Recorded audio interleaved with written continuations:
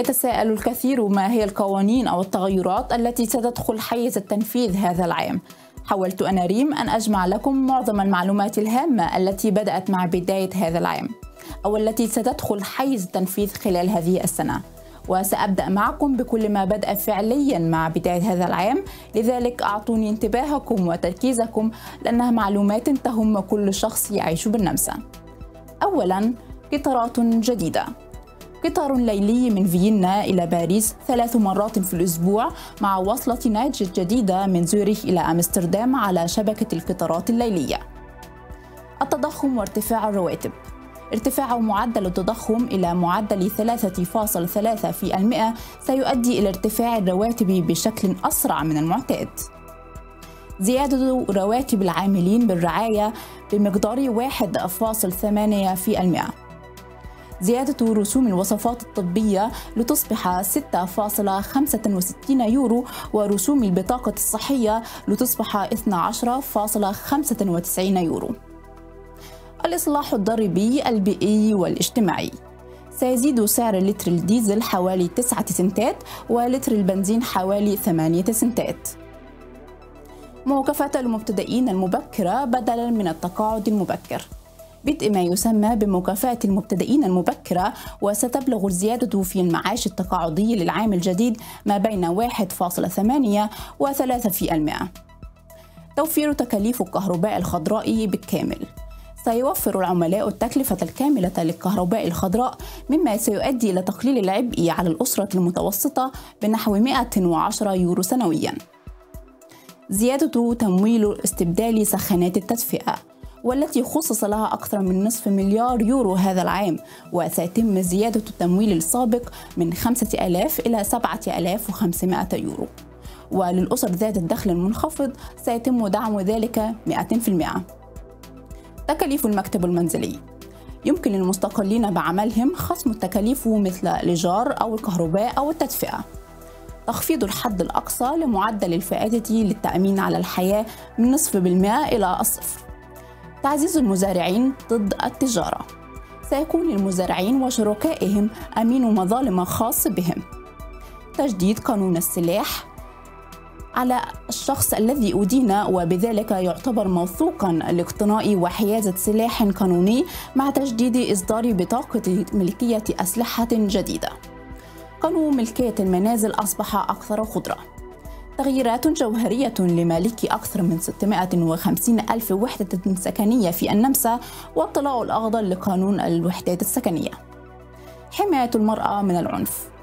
سيجرى تحسين مراكز الحماية من العنف بميزانية 5 ملايين يورو لتمكين النساء والفتيات. ميزانية قياسية بمقدار 3.25 مليار يورو للإجراءات الأمنية وتعزيز الحماية في المستشفيات. الموت الرحيم. أصبح من الممكن المساعدة على الانتحار أو الموت الرحيم للأشخاص المصابين بأمراض خطيرة أو ميؤوس من شفائهم.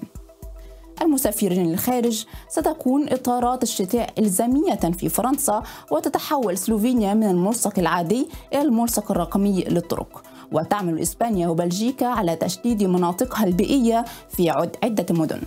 وتخطط ألمانيا لفرض إلزام حمل الكمامة في مجموعة الإسعافات الأولية للسيارة.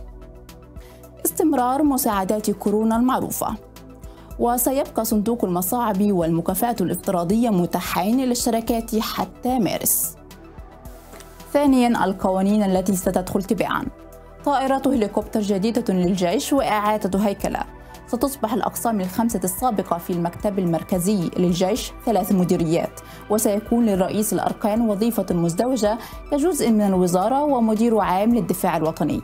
كما سيحصل الجيش على إجمالي 18 طائرة هليكوبتر متعددة الأغراض من طراز ليوناردو الإيطالية. انتخابات المجالس المحلية في النمسا السفلى في يناير وفي تيرول انتخابات المجالس المحلية ورؤساء البلدية في فبراير. أما في بورغلاند فهي في الخريف. التطعيم الإجباري. اعتبارا من فبراير فصاعدا من المتوقع أن يبدأ التطعيم الإجباري. ضرائب جديدة على العملات المشفرة. بحيث سيتم فرض ضرائب من مارس على العملات المشفرة مثل الأسهم بنسبة 27.5% وبغض النظر عن المدة التي تم الاحتفاظ فيها بالأصول. رخصة القيادة الرقمية وملصق وقوف السيارات الجديد في فيينا. ستتوفر رخصة القيادة الرقمية وبداية من مارس سيتم تمديد ملصق وقوف السيارات ومنطقة وقوف السيارات قصيرة الأجل في فيينا لتشمل المدينة بأكملها كما سيتم توحيد فترة الصلاحية والمدة. ارتفاع رسوم ORF ستزداد رسوم الراديو والتلفزيون النمساوي ORF وذلك في مارس على أقرب تقدير بمقدار 5 إلى 60 سنتا. سيتم زيادة المكافأة العائلية. سترتفع مكافأة الأسر من 1500 يورو إلى 2000 يورو. ومن يوليو سيتم زيادة علوة الأطفال لذوي الأجور المنخفضة من 250 إلى 450 يورو ولتشمل جميع العمال.